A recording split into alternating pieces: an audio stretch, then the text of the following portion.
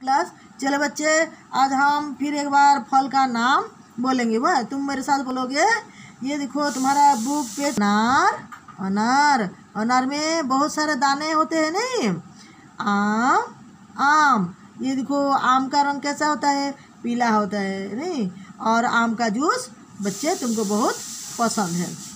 अंगूर अंगूर अंगूर खट्टा लगता है, खट्टी लगता है और मीठी भी लगता है, नहीं? अंगूर का रंग कैसा होता है?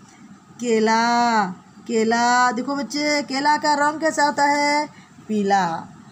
ये देखो तरबूज तरबूज क्या गर्मी के मौसम में मिलता है? देखो, बाहर उनका हरा रंग है और अंदर लाल रंग है। लीची लीची। ये देखो संतरा संतरा संतरा का भी जूस बहुत अच्छा लगता है तुमको, नहीं बच्चे? पपीता पपीता, ये पपीता देखो बेटा, कच्चा कच्चा वाला सब्ज़ी बनाते मम्मी और पक्का वाला खाते हैं, नहीं? चीकू, नाशपाती नाशपाती, सेब सेब, देखो ये सेब का रंग कैसा होता है?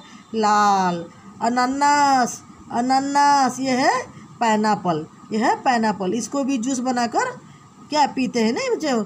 देखो बच्चों, ये वाला तुम याद करोगे हाँ और मम्मी के पास बैठकर तुम पढ़ाई करोगे।